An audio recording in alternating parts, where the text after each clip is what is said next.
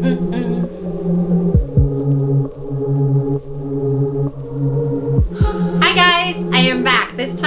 a haul of bassoon goodies.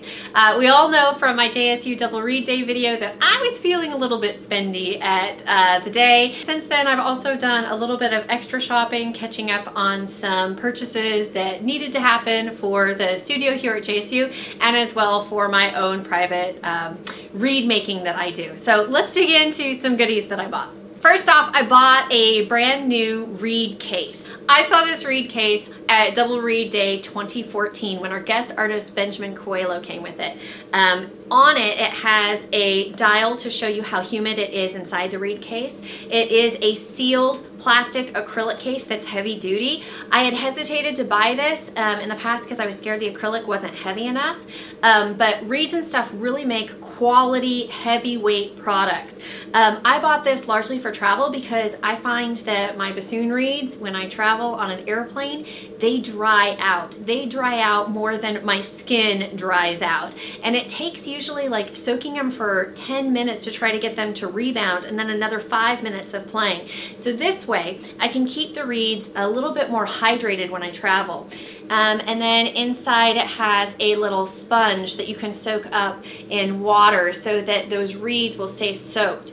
Another item that I bought for travel um, and basically to have in my bag of tricks for whenever I hit some place that is crazy with the weather or a different altitude but that I can always be sure that I can play without having to do reed adjusting if I don't have any time at the last second is a Legere plastic reed. Now these are not the plastic reeds that I had when I was growing up. Um, my dad actually bought me a plastic reed when I first started bassoon um, because he was so tired of me going through reeds on a uh, fast basis and it sounded so bad and he wouldn't buy me any other reeds that I literally bit the plastic reed and left teeth marks in it so that it would no longer work and you had to buy me real like reeds again. Um, the reeds now that are plastic, they're a totally different product. I'm really glad I bought these in person because it took me trying about three to four of them until I found one that matched my instrument and played in tune. So if you are interested in getting one of these plastic reeds, um, I would suggest trying a couple prior to purchasing because um, the first three were not a match with my instrument. They are unique, they are different, they're not just mass all the same.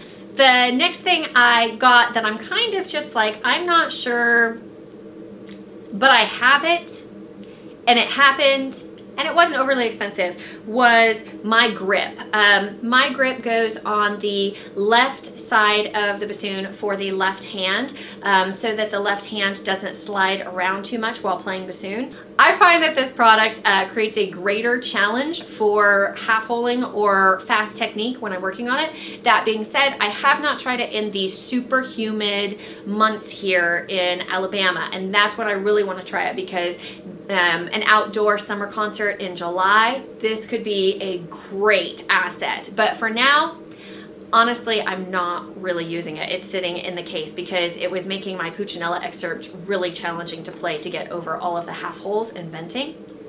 So I have it. Not sure quite how I feel about it yet, but I bought it. The next piece that I bought is the most expensive bits that I have bought in the past month. Um, I ended up buying the lefreQue uh, sound panels. Um, I bought a small set in gold and also a um, larger set in like they call it brass but it looks like a rose gold to me um, if I had to choose a color name for it, I mean, I know it's not actually gold, but if I were buying jewelry, this is what rose gold would look like.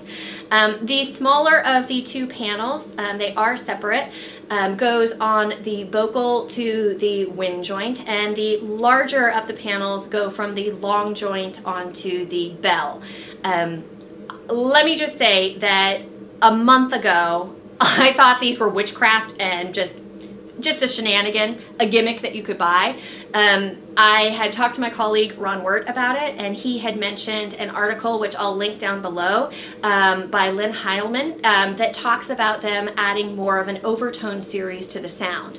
Uh, I was kind of like, why can't you do that with a reed? why wouldn't you do that by softening the body? Um, I didn't understand quite that they could create a bit of um, air movement and vibration that would shift on the instrument. Uh, since playing with these, I have noticed um, a difference in the sound. I have noticed um, that dynamic contrast and resistance is actually easier. I tried a variety of the different panels. They also come in silver, but this was the matchup for my bassoon. And I do have to say that when you are looking at these, you should try to match them to the instrument, much like you would match a bocal to the instrument. And I don't play with them all the time, but I do have them in my bag of tricks so that, um, you know, when I do want that extra boost of sound, um, something that I really want to project in a different way, add a different color or timbre to the sound, that I have those options. I'd be remiss if I didn't tell you that I have been stocking up on cane and that I am a cane hoarder. Um, I have run into times in the past when cane was not readily available that I tried to order it and it was back ordered. And when it was back ordered, I could not make reeds and because of this I now stockpile it. So while Miller was here I did buy a uh, couple of the gouged cane um, that then I will shape and profile on my own setup. Um, and this is the Danzi version of it. Um, and then from Woodwind Brasswind, I bought several bundles of the Rigotti just gouged cane so that I can make reeds whenever I want. For my studio, I have bought um, a bundle of Rigotti gouge shaped and profiled cane.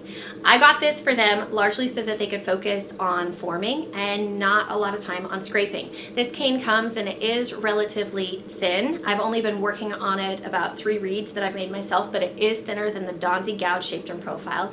But yet it's still heavy enough that uh, they can make some minor adjustments and continue to break pieces in. Um, also the cane is heavier weight. Um, it's a thicker, harder density cane than um, some of the just clip the tip and play cane that will only last for about a week. This has a tendency to last a bit longer and does require a little bit of scraping, but not so much that my students are overly intimidated. What I have found though is that the cane overall is much wider than the Rieger 1A shape or the Fox 2 shape. Um, both are very similar and this is much wider than that, especially at the tube. Um, the blade as well is um, at the very tip, two millimeters longer than the uh, Fox 2 or the Rieger 1A for my measurements. You will have that flexibility in sound um, and also greater projection because it is wider. It can be a little bit more challenging though to make a rounder tube because it's wider. The studio insisted that we buy um, some variegated multicolored thread.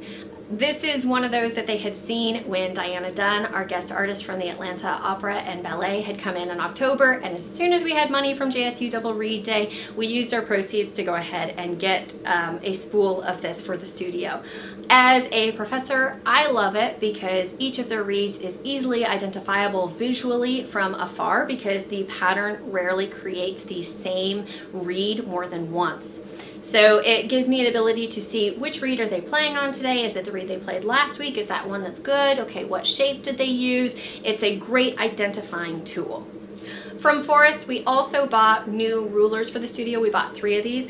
I'm very picky when it comes to rulers. Um, largely, I want it to be metal, relatively thin, and I want zero to be at the far edge so that I get the most precise measurements as possible. Um, Forrest, I find, has the best of these. The numbers don't wear off as easily because they are engraved a little bit deeper with the ink on the numbers. And also the metal is relatively thin, so I can get right up on the reed to get the best dimension. We also used a bit of our Double Reed Day profits um, to purchase a couple of swabs from Forrest Music. Um, we bought a universal swab for our school Loree uh, oboe and also a universal swab for our school Heckel bassoon. Uh, these are pull through so that they have less chance of getting stuck in the instrument um, and they also are silk in order to uh, be sure that they are the most absorbent. Swabbing your instrument is always something you should be uh, working on largely to make sure that you are avoiding any rust or any rot in the instrument and that you'll also extend the pad life of your instrument. Um, if you're curious to know more about swabbing out a bassoon, I have a tutorial on that and I will link that down below. If you want to know more about my preferences of silk over cotton and also about a universal swab, I have a blog post on that and I'll link that down below. Okay guys, that wraps up my haul from uh, winter 2015. Uh, be sure that if you liked this video, you give it a thumbs up and that you subscribe so you never miss a future video. And be sure to comment down below what your favorite item is that I purchased. I will see you guys next time. Bye! We are gonna go through the pieces of the bassoon and also how to put the bassoon together. So this could also be helpful for many beginning bassoonists or all, um, for, you know, they could, so you will have that flexibility, effect, oh, you